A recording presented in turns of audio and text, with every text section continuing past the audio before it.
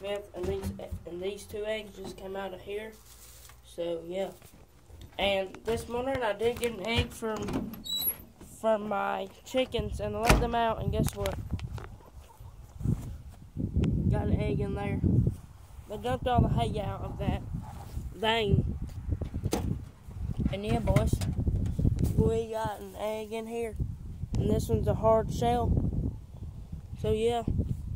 Um this one will be going into my well, them will be going in well, I'm going to keep these so I can put them in my incubator, and this one will be going in the refrigerator. So, yeah, right now, we are out.